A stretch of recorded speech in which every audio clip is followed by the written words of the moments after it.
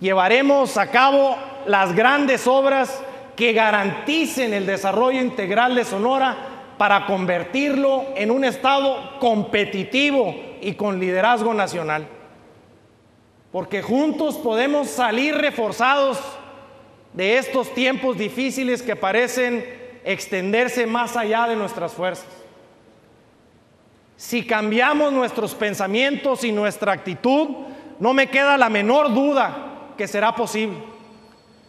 Si hacemos el esfuerzo para adaptarnos a las nuevas realidades, estoy seguro que será posible. Si actuamos en lugar de padecer, les aseguro que lo vamos a lograr.